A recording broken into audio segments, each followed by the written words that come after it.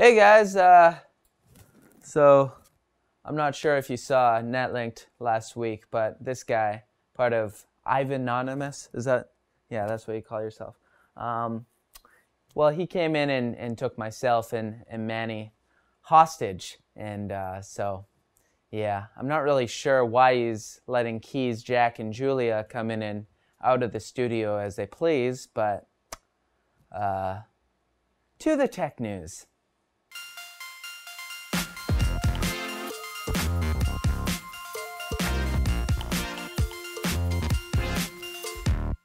Well, guys, today's the day. AMD has officially announced Ryzen, and I'm not even wearing my shirt. I've, I've ruined everything. The trio of Ryzen CPUs were announced today. The Ryzen 7 1800X, 1700X, and 1700 all have 8 cores and 16 threads, 16 megabytes level 3 cache across all cores, and are unlocked for overclocking. The top end 1800X is $499 American with a 3.6 gigahertz base speed and a 4.0 gigahertz boost speed and a 95W TDP. This chip is up against Intel's i7-6900K which has a 3.2 gigahertz base speed, 3.7 boost, and is $1,100 more than double the price of this Ryzen chip. Damn, dude! AMD also says that the 1800X scores 9% higher than Intel's in the Cinebench R15 multi-threaded rendering test. As for the other two parts, the R7 1700X is $399 with 3.4 GHz base speed and a 3.8 GHz boost,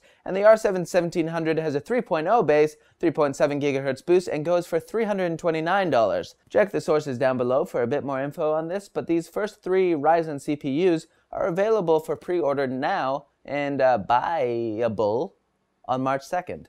A few Valve VR things in the news today. Firstly, the company has announced they're ditching their $3,000 tracking course that was required to become a Steam VR tracking partner. This means that basically anyone can develop Steam VR enabled hardware. The course and in-person training will still be available, but Valve is also making its training documentation freely available. Steam VR support is also coming to Linux, so, Linux content on the HTC Vive headset, trackers, and other hardware will be possible. Lastly, Valve VR trackers will soon be sold separately. Until now, you could order the tracking stations from HTC, but now you can purchase straight from Valve's online store, so that's pretty cool. There were a few things there, so let us know how you feel in the comments below about the story or your life currently. And I don't know how tech news this is, but NASA certainly used technology to discover seven Earth-sized planets the organization used the Spitzer Space Telescope to find these planets, which are 40 light years away from us and exist in the Goldilocks zone, where apparently liquid water is possible, so it would be habitable, habitable for life. This is the first time astronomers have discovered another solar system roughly the same size as ours. And guys, it's only 235 trillion miles from Earth. That's like a trip from your house to the corner store, you know. Uh, for real though, Elon Musk has to be pretty excited a little too excited about this one. It's time for shorter news stories that will forget any others. That's the little ditty a guy the guy uh, the guy did a while ago. I appreciate that man. Thank you. Gonna keep using it probably. This guy made a song, made a shorter news story song. Anyways, You'll get it. NVIDIA, after lots of rumbling, has given a pretty big hint that they will be announcing the GTX 1080 Ti at GDC as they've put a countdown timer for the Ultimate GeForce live stream on the GeForce website that have the letters TI bolded is I don't know if bolded is a word, but in in the word time. Or maybe they were trying to bring more focus to ME, me. Wait. Wow, wow lots to think about. Hmm.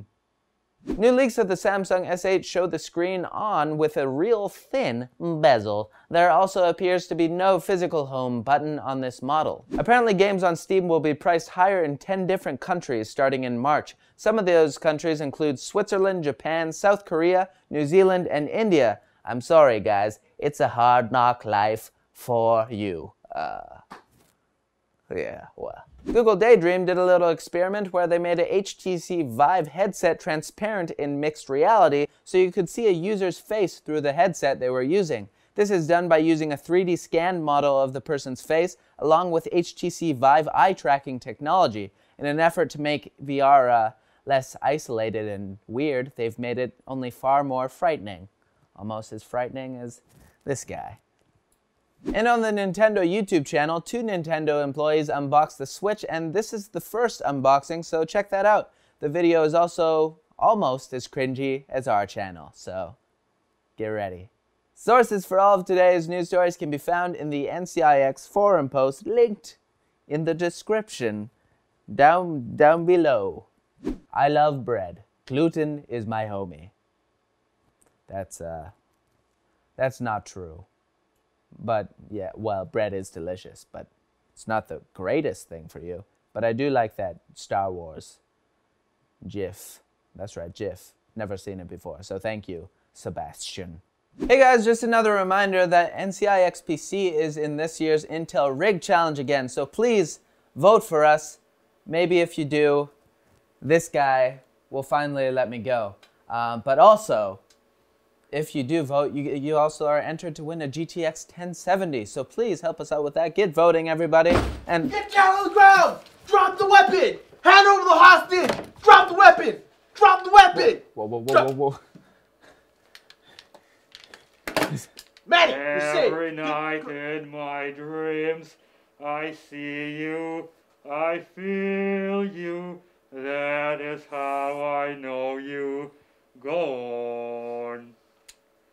Far across Ah. the spaces and distance Oh, my between us, you have come to is show you. Go on. Screw the hostage! Wait, no. Oh, I didn't sign up for this! Wait, no, please. Please go. Please just go. Wherever you are, I believe that the heart does go on. Once more, you open the door and you're here in my heart and my heart will go on and on.